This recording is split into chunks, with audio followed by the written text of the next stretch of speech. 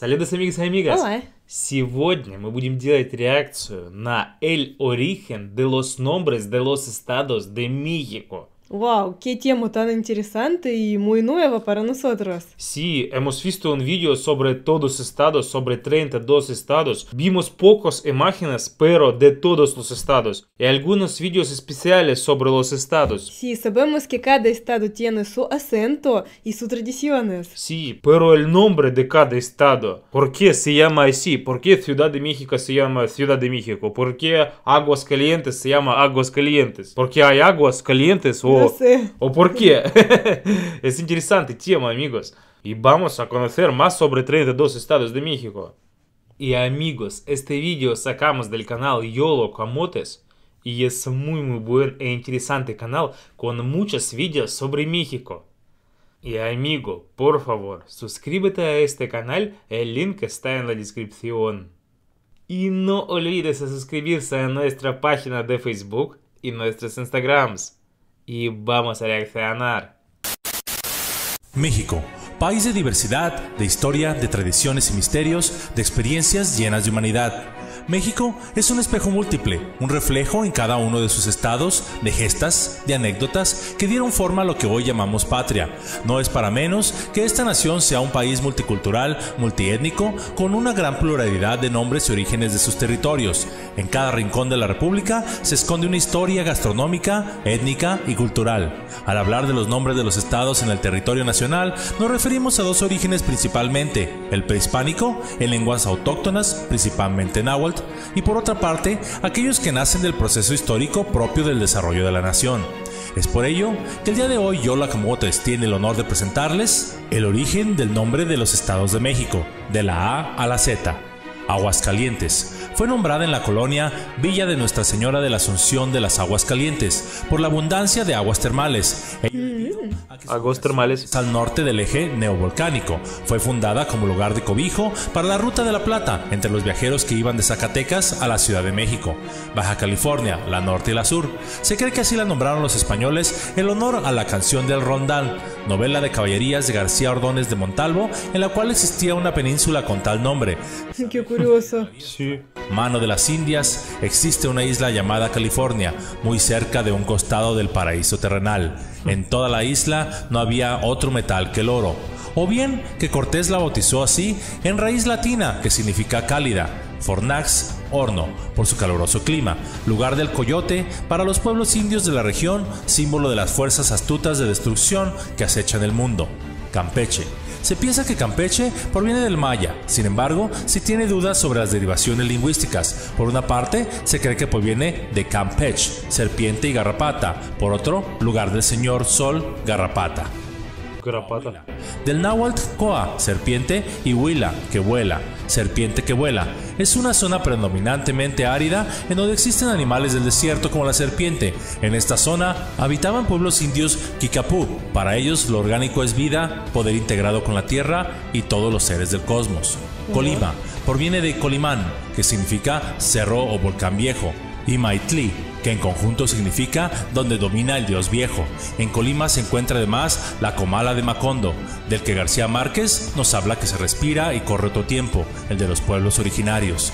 De pirámide entonces. Chapán por los mexicas, en honor a la semilla de la chía, de la cual hay abundancia en la región, y Apán, que es río, en conjunto significa lugar de la chía, región que se distingue por el multicolor entramado de pueblos de habla maya, guardianes de las montañas, de los altos y la memoria. Chihuahua.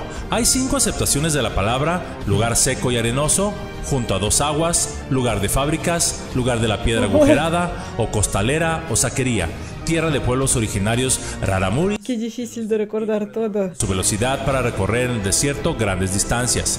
Durango. Los españoles le dieron un nombre de origen vasco que significa vega bañada por ríos y rodeada de Oh, qué interesante. geografía de la región. Anteriormente, el territorio estaba ocupado por coras y huicholes, que fueron desplazados en la colonia. Para ellos, en el espacio, hay un tiempo sagrado, de donde emergen las fuerzas mágicas de la naturaleza, como el abuelo fuego o la madre agua. Estado de México. Durante la época prehispánica tuvo como principal centro poblacional a Teotihuacán, que significa lugar donde moran los dioses. Posteriormente, este centro fue decayendo y la principal urbe poblacional fue Tenochtitlan. Guanajuato. Proviene del tarasco Cuyanax, rana, y Huasta, cerro, es decir, cerro de ranas, por la forma de los cerros de la región. Ah, por la forma. Sotomíes, anterior a la llegada de los españoles. Guerrero, creado en 1849 tras la independencia, tomó su nombre en honor a Vicente Guerrero, personaje originario de Tixtla, y clave en una de las frases más aguerridas, la de la resistencia. Los Guerrero es su apellido. en la época prehispánica correspondían a la provincia de Cihuatlán, lugar de mujeres. Jalisco. Su nombre significa lugar arenoso y estaba ocupado por pueblos tepehuanos, quienes realizan el famoso ritual del mitote, en el que por la noche se hacen danzas en círculo en honor a la creación del universo. Por cierto, de ahí proviene la palabra mitotero. Michoacán. Su nombre proviene del náhuatl michin, pescado, y can, lugar. Significa Lugar de pescado. región de los pescados. Wow. Originarios de la región son los pueblos purepechas que resguardan el lago de Pátzcuaro, lugar donde están las piedras a la entrada de donde se hace la negrura. Morelos. Su nombre lleva el de uno de los padres de la patria, José María Morelos y Pavón, quien fue uno de los Conocemos. militares en la lucha por la independencia de México. Además, fue uno de los grandes organizadores de todos los pueblos indígenas de la región. Nayarit. Proviene del Cora y significa Hijo de Dios que está en el cielo y en el sol. Pueblo que ocupó la región antes de la llegada de los españoles junto con el pueblo Huixarita o llamados también Huicholes. Nuevo León. En relación al Reino de León, en España, los españoles nombraron también a México la Nueva España, porque para ellos significaba la refundación de una sociedad europea en crisis. Tenían la esperanza de renacer lo mejor de España en el territorio americano. Oaxaca. Del náhuatl Huaxiacac, Wax significa planta de guaje. Yaca significa literalmente nariz. El sufijo C es de lugar. Su nombre en zapoteco y mixteco es Lula o Ñundúa y significan en la punta del guaje o en la punta de la nariz del guaje. Es una región donde los pueblos zapoteco y mixteco fundaron la ciudad de Monte Albán. Puebla. La ciudad fue fundada en 1531 y llamada Puebla de los Ángeles. En Puebla hubo al menos siete pueblos originarios y fue en esta región donde se ubicaron los cultivadores más antiguos del maíz, cereal que se desarrolló en relación con el hombre y gracias al cual pudo sobrevivir el hombre mesoamericano. Querétaro. Hay diversas interpretaciones, sin embargo, todas refieren al juego de pelota que se jugaba en la región. El nombre equivaldría a lugar de piedras grandes o lugar donde se juega la pelota. En este juego, los ganadores poco. sacrificados a los dioses para, según la cosmovisión, continuar el ciclo del universo. Quintana Roo. El nombre proviene de Andrés Quintana Roo, fundado en 1902 como territorio independiente. La región estaba ocupada por pueblos mayas que antes de la llegada de los españoles También su apellido. Quintana Roo. Pero no sé quién es. Sí, los españoles descubrieron en 1592 depósitos de oro y plata. Se le dio el nombre de San Luis Rey en honor a Luis IX de Francia.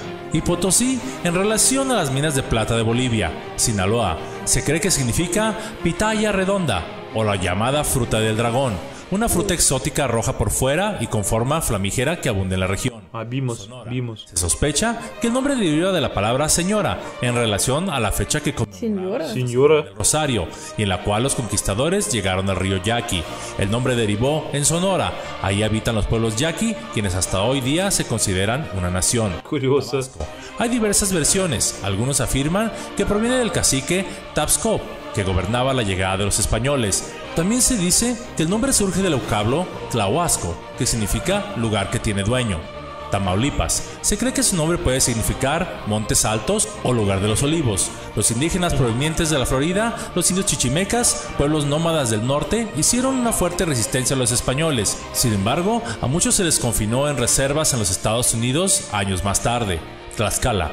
El señorío del pueblo prehispánico se llamó Tezcalac, que significa despeñadero. Los españoles lo cambiaron por confusión a Tlaxcala, lugar de tortillas. Veracruz. ¿De, de tortillas? ubicó el puerto en el que se embarcaban las riquezas que iban a España. Su nombre hace gala del saqueo de oro que se realizaba, por ello era considerada la Villa Rica de la Veracruz, en relación a la verdadera religión, la católica que los españoles trajeron a México. Yucatán. Se cree que proviene del vocablo maya Yucaltán Mayap, que quiere decir todos los que hablan la lengua maya, en referencia a los pueblos de la región. Los pueblos mayas que habitaban la región tuvieron importantes insurrecciones debido a las condiciones de explotación y miseria hacia el siglo XIX. En 1835 se constituyó como una república independiente en reacción al centralismo y tuvo su propia bandera. Zacatecas. Su nombre proviene del náhuatl Zacatl y significa lugar donde abunda el zacate. La ciudad se fundó en 1531 y es uno de los principales centros de extracción minera en la época colonial. Y así, cada región, cada pequeño pedacito de nuestro país nos habla de una historia diferente, una lengua, una geografía, una historia y hasta de un sabor distinto a través de su gastronomía, que forman la República Mexicana. No por nada, México está entre los 10 países con mayor diversidad natural y cultural del mundo, de la cual debemos sentirnos orgullosos.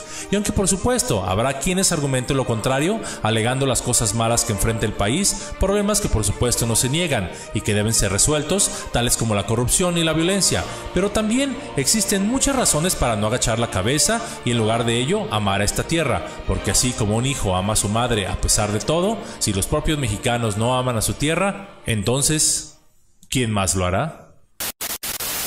Amigos, qué buen vídeo, muy muy informativo, sí. Y yo espero que para ustedes también fue informativo porque es difícil de saber Sí. todos significados de los nombres de los estados. Sí, estoy segura que muchos de ustedes tampoco lo sabían antes. Sí, y para nosotros, co- como para los rusos, fue muy muy interesante porque no sabemos muchas palabras de español y es difícil de construir una palabra de dos palabras, por ejemplo. Y por eso este significado fue muy importante para nosotros, para saber qué significan estos nombres.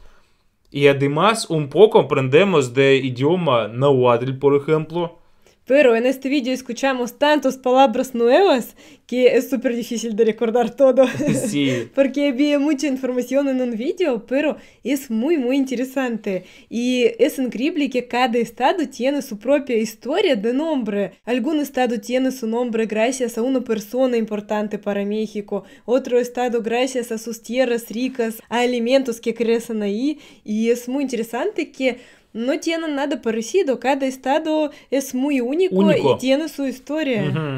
Yo veo que 30% de los estados nombraron los españoles y 30% tienen nombre de nahuatl o otro idioma maya Mm. y 30% nombraron por lo que crecen ahí, como por ejemplo lugar de pescado. Sí. Sí. Súper curioso vídeo amigos y si ustedes pueden recomendar algunos vídeos parecidos, esperamos sus comentarios. Y muchas gracias por ver nuestra lección. Si te gusta, por favor, suscríbete a nuestro canal, dale like, activa el icono de la campanita y nos vemos amigos. Hasta la próxima. Adiós.